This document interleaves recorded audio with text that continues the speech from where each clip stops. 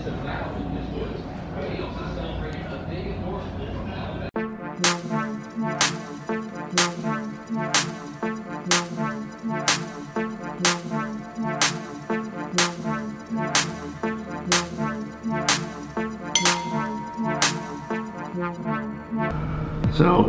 right there is where I met my hobo friend.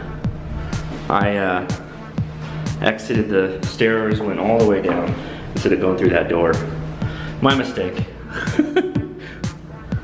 I do find this car really funny that when I I type in my direction I'm going to in Waze, which is connected to the car, and it starts playing chip tunes. I don't touch anything, it just starts playing chip tunes. It's pretty funny.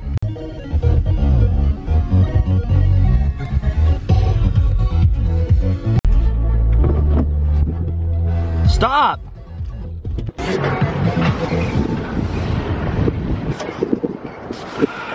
How'd we do? So sorry. This is. Oh, I got nothing. I, you got a hit though.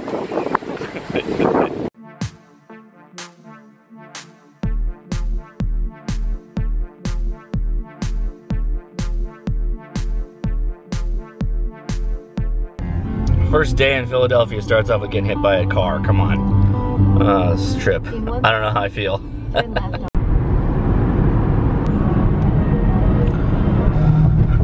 Welcome to New Jersey. With a string of broken business ventures and the support of a former clan leader, we can't decide whether or not to. I was talking with people today, and it is scary to think that we live in a world where we are going to have an election where no one likes any of the candidates. There's no candidate I like. There's no candidate I agree with on five or more topics. I just, crazy. And she said, full business suite is downstairs on the third floor, so I'm gonna go there because I need a printer and fax machine.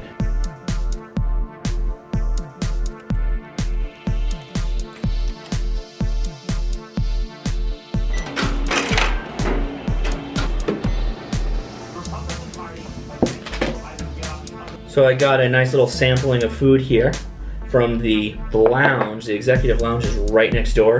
We're gonna see how this goes tonight. This might be way too loud, and I hope not. But um, anyway, what do I want to talk about today? I smuggled in three knives past the TSA. Realistically, they were all legal.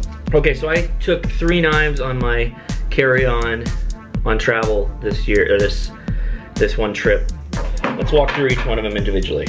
What the heck got on this guy? First one is the Leatherman Style CS. This has basically four tools. It has a very nice rasp file, whatever you want to call it, uh, a little anemic blade, and out of the best best thing in the entire group is the scissors. This these are the best scissors at all three knives. There's also a pair of really bad tweezers, like like pathetically bad, like the worst tweezers that I've ever used and a bottle opener with a little carabiner action. The Mini Champ, Swiss Army Mini Champ, which has just a ton of tools. It has a decent file. It has what's called a cuticle pusher. I call it the Coke spoon because I think it's hilarious. It's got like a Wharncliffe knife. It's got a package opener slash line cutter knife, pair of scissors, one of the best features on this, Phillips head screwdriver with bottle opener, and then the regular kind of mini Swiss Army blade, which you're all familiar with. And then the last one is the Spyderco Roadie, which I've talked about in the past.